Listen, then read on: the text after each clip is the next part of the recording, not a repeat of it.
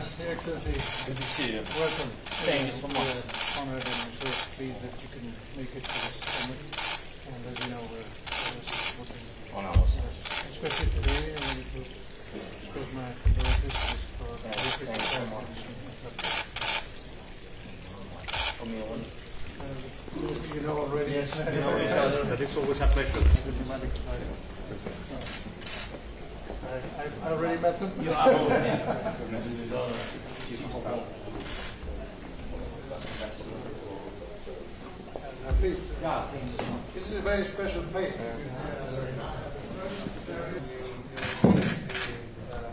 First time we meet, and uh, I obviously want to uh, government and, and practically a very uh, broad consensus is uh, here in our country in support of Ukraine the very start of the attacks in February 22. And, uh, and this is uh, something that we uphold uh, throughout the whole conflict. Uh, uh, um, I know that there is support, not only in a bilateral sense, but also in a joint effort to pool, uh, especially for, for munition